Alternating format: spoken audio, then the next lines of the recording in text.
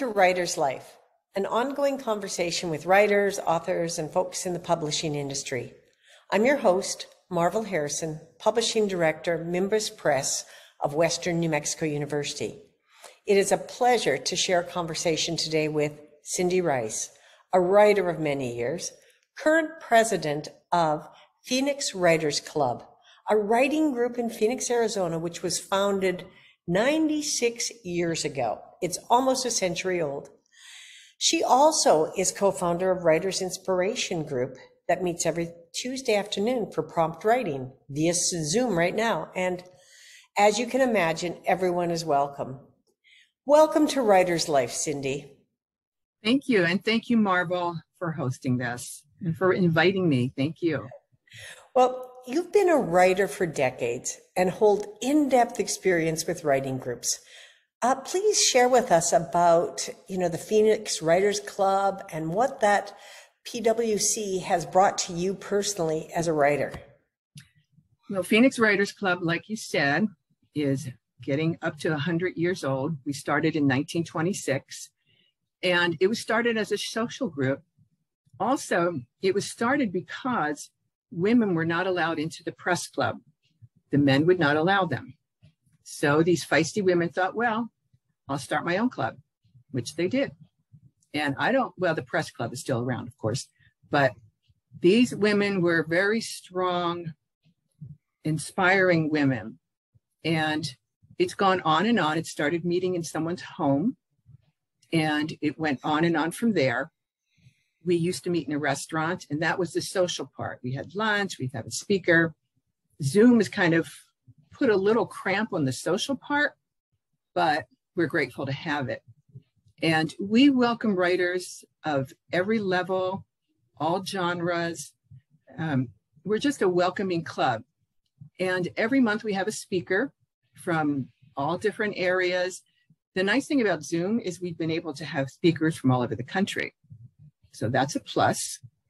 And we're still in the process of figuring out if we're going to stay on Zoom, if we're going to do Zoom a few months and then meet in person, because we really miss the in person. And a lot of us have been in the club for a long time.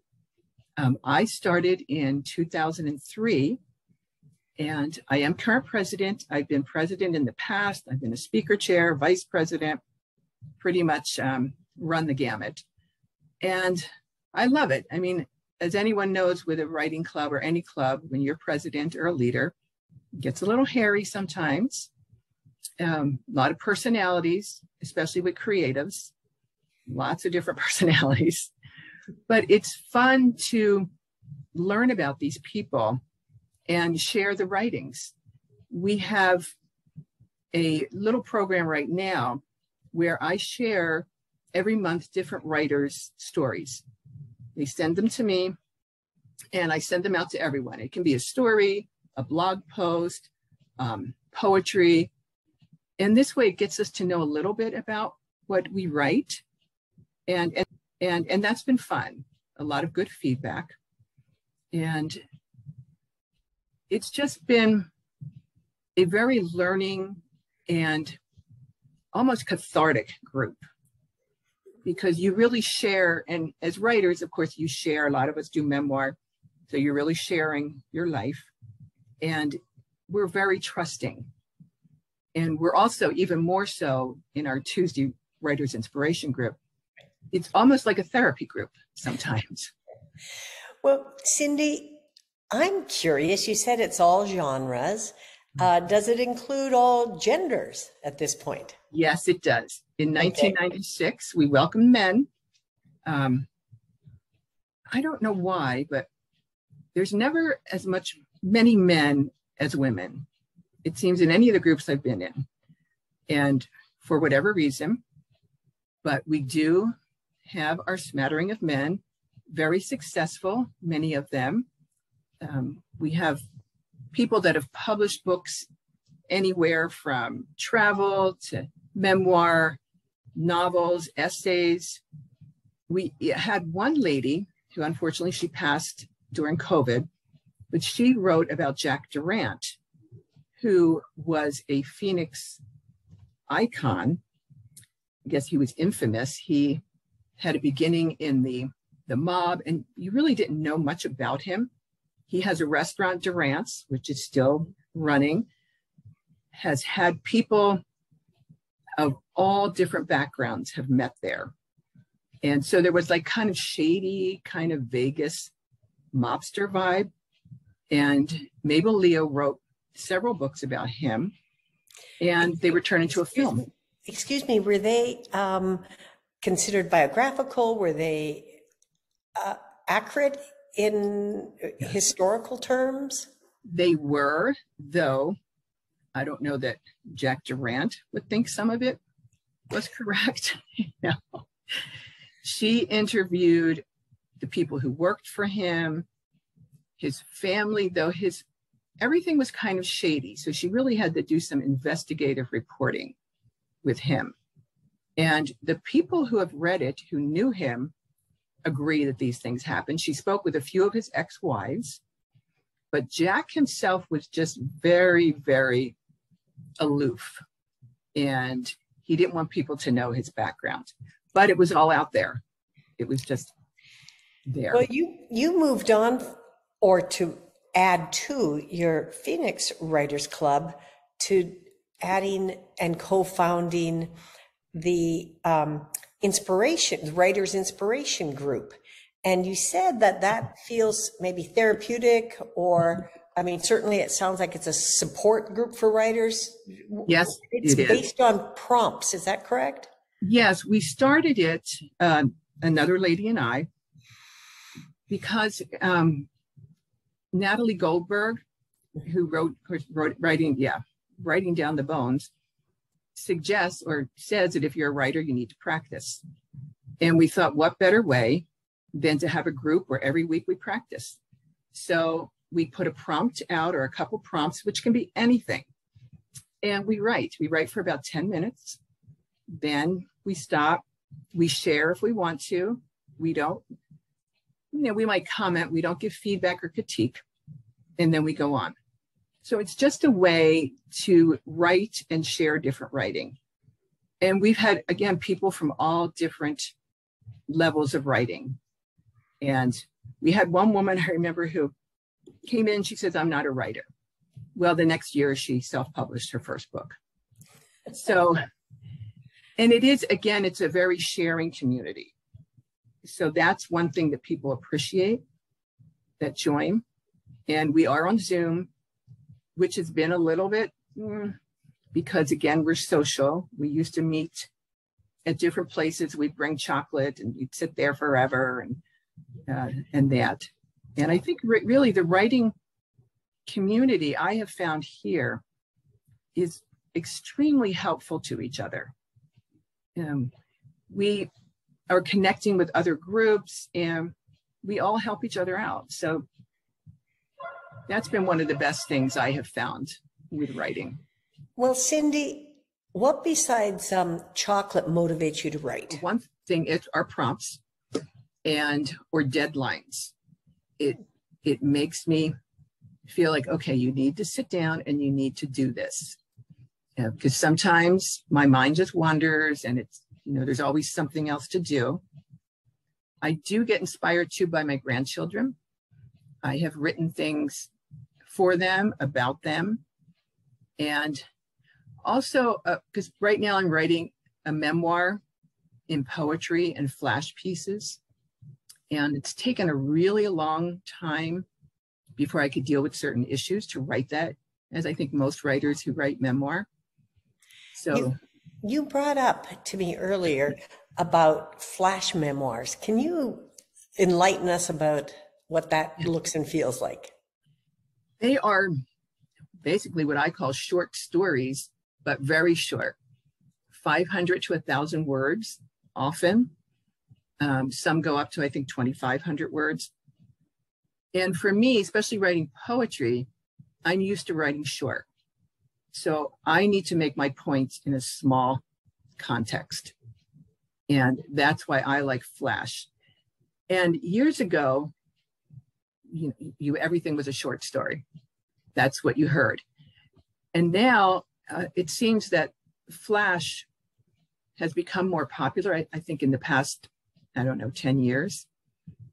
And for some people, it's easier.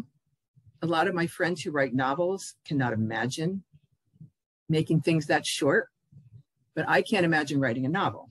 So if I don't get the story in in 500 words, then that's it. I cannot keep going and going and going. I I just get lost. So I think it's very freeing and it also makes you be concise and get to the point, just like poetry. Um, it does take, well, everything takes a lot of revision. I do tend to revise and revise and revise. And, and actually, when I do that, it gets shorter and shorter and shorter until sometimes I don't know if the point gets across or not. But that's the good thing about critique groups, right? Well, I was thinking about it, reminded me of, I believe it was Woodrow Wilson who wrote to the president earlier in his life. And he said, and I'll paraphrase this Dear Mr. President, I apologize up front about how long this letter is. I didn't have time to write a short one. and it takes time to actually nail the words, doesn't it? It does. It does.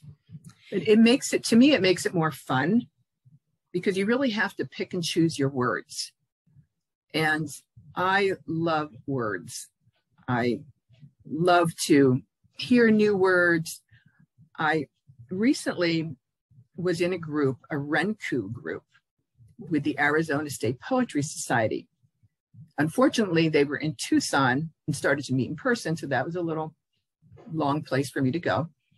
And it was so fun. I had no idea what Renku is, was. I still am not exactly sure how to even explain it, but basically haiku that keeps going. But it's words. It, you really have to pick your words. And it was so fun. And you do it in a group. You start with a haiku and then it goes on and on. And it was just so fun to be with other people who were so like picky about their words. That was that was a lot of fun. So. Yeah it sounds like there's a lot of precision in it. Yes yes. And you mentioned earlier that one of your groups i believe it's the prompt group uh, you can share if you like but there's not critique or feedback where do you, where do you find your critique for your personal writing well we do have excuse me a critique group with Phoenix Writers Club that was started a few years ago. And I was I was going to that, but a lot of the people were writing novels, and that was a little much for me. Right now, since I've joined Arizona State Poetry Society, they offer critique groups. And they also just offered a feedback where you can send a few of your poems and a poet with a lot more experience can then send you feedback. So that's what I've been doing. And I've been a member of many critique groups over the years, some good, some not so good. And I do have a few friends too that I run things by, trusted friends. And I have found that the biggest thing with critique groups is you really have to know that person and you they have to know that you're going to take the critique Nothing's personal. And that's what I want. And I think all people need that. You have to know that when someone critiques your work, they're trying to make it better. They're not saying it's no good, or or if they say they love it, they love it, they love it. That's not doing you any good either. You really have to be ready for a critique group. And I know it's kind of a tender decision for some people when they begin writing because nobody wants to be told their writing is no good or as some people just cannot take that. Um, so i have found that um, looking for a critique group is not an easy thing. It, it really isn't. And finding one that fits you. But i would encourage everyone to to find one to try them try different ones there's a lot of online ones now and people from all over the country so it's like give it a shot and see if it works for you but what what other things would you encourage writers to do? I mean, obviously being connected to other writers and being able to do prompts and finding a critique group you've mentioned. Are there any other thoughts you have? Yes, read, read, read, read. read everything. And read the newspaper. I love reading the newspaper, the real paper. That's, and I love reading books, real books. I don't read on Kindle, I don't have one. I know that's great for a lot of people. For me, it doesn't work. But I would say read every kind of genre you can. Even if you don't like it, just give it a shot. See what, you know, what you can gain from it. I would say join a writing group because that's where you're going to learn and learn your craft, take classes. There's, you always are going to learn something from classes, whether they're college classes, community classes, you're going to learn. And with our speakers at Phoenix Writers Club, we try to vary things up. And every speaker is not going to appeal to everyone, of course, which is fine. But you always learn something, I feel. I always learn something, no matter what genre they write in. And so, I, eh, but the biggest thing I would say is to read, read as much as you can. And also read in the genre that you are writing for. And for the people that you think are going to read your book to see if this is relatable to them. That would be my my biggest thing to say. And it would help you then hone into your audience. Is that what you're saying? Yes, yes, definitely. Uh, I know when I will write children's things before COVID, I would take them into the children's classrooms, and they would give me feedback. And you know, kids are honest; they are, they throw it right at you, which was great. Um, and so I would really advise if you write children's to go in and and read it to kids, which is just delightful. I mean, I love working with kids. I think they are my passion to do that. Um, what kinds of things did kids tell you about something you presented? Uh, one thing, if they don't like the names, that was one thing.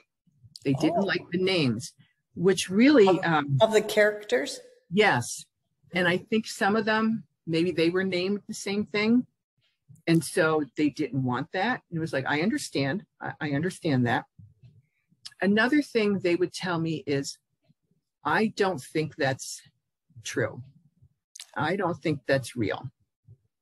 And today's kids, of course, being everything's technology, that is really concerning. I mean, you've got to be up on that, which I'm not. So that makes things a little tricky. And I have found that the things, the words that they use are different in a different context than we we see those words. And kids have said, I remember I read some poetry to some, and they weren't impressed, first of all, with my kids' poetry. And then we did a workshop where they wrote and oh, I was blown away. I was blown away. And these were fourth grade kids, what they wrote. And they really, they want to get into the meat of the subject. They know so much. And I think as, well, especially as a mother and grandmother, you never want to see your children hurt. So as I was writing some of my stories, I was protecting them, but I wasn't really protecting them. When you think back on all the, the children's stories, these kids are experiencing all kinds of drama. And that's what they want to hear. So that really changed my focus. It's like, okay, I need to beat my characters up a little bit.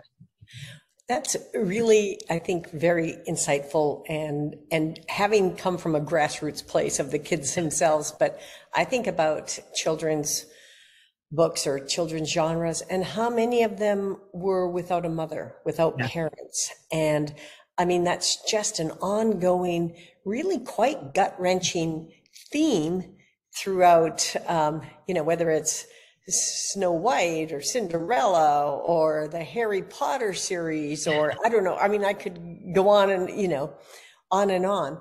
But you're right. I think children really uh, react to and maybe resent minimization.